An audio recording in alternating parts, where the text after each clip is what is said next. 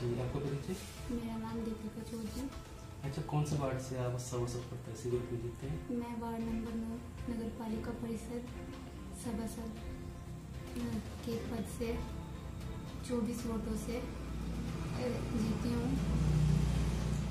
अच्छा जैसे कि वार्ड के अंदर आपको विकास कराना है तो सबसे पहले आपका क्या काम मेरा सबसे पहले ये काम हुआ कि जो भी हमारे विकास के कार्य रुके हुए हैं मैं उन्हें पूरा करूँ।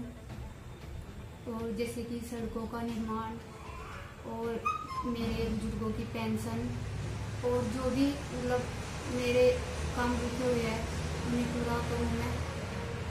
अच्छा वार्ड वासी ने आपको सभासद बनाया है तो आप किस प्रकार से उनका आभार व्यक्त करना चाहेंगे एक धन्यवाद के रूप में क्या आप कहना चाहेंगे? क्या उनका सहयोग आपको सबसे पहले कि यह है कि जो मेरे बड़े थे उनको मैं धन्यवाद करना चाहूँगी जिन्होंने मुझे इतना सपोर्ट किया और इस लायक समझा। उनसे सबसे पहले धन्यवाद कहना चाहती हूँ।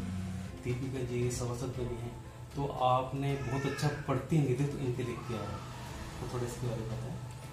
देखिए हमने जो भी कार्य किए वो बड़े बड़े बुज़ुर्गों के सम्मान के लिए वार्ड की समस्याओं को देखते हुए, क्योंकि हम एक निर्दलीय प्रत्याशी थे। और निर्दलीय प्रत्याशी का जो दायित्व होता है या जिसको सपोर्ट लेनी होती है, वो सर्व समाज की ओर से लेनी होती है। मेरी सपोर्ट सभी समाजों की तरफ़ से की गई है। तो मैं इन पाँच वर्षों में ज़्यादा से ज़्यादा काम कराने की कोशिश करूँगा और सभी समाजों के लिए आगे चल के किसी भी तरीके की कोई समस्या ना आए, सभी समाज के लोगों को पूछ करके उनका कार्य करने की नगर पालिका से कि आप बहुत ही कम उम्र में सभासद प्रत्याशी हैं। तो और ऐसा हमें अभी मिला भी एक सर्वे आपके वार्ड में कि परसों का रिज़ल्ट आया है, जिसका परिणाम आया और आपने कल से काम यहाँ शुरू कर दिया विकास कार्य का।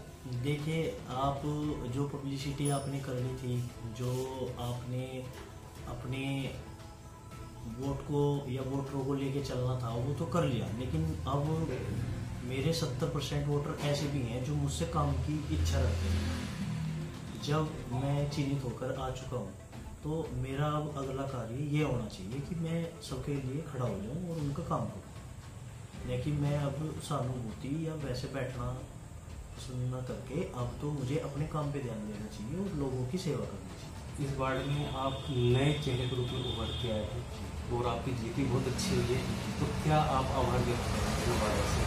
देखिए, मैं तो अपना सौभाग्य मानता हूँ क्योंकि सर्व समाज के लोगों ने मुझे इस लायक समझा कि मैं इतनी अच्छी तरीके से एक बहुत ही कम टाइम में, बहुत ही कम उम्र में एक ऐसा नगर पालिका में सदस्य जा रहा हूँ, जो मैं जितना ज़्यादा धन्यवाद अपनी जनता का करूँ, वो ज़्यादा से ज़्यादा क्योंकि लोगों ने मुझे इतना प्यार दिया, मैं इसकी उम्मीद कर नहीं रहा था, क्योंकि लोगों ने मुझे बहुत से ज़्यादा प्यार दिया इस वार्ड में लोगों ने मुझे वाकई बहुत प्यार दिया। और सर्व समाज ने मुझे प्यार दिया।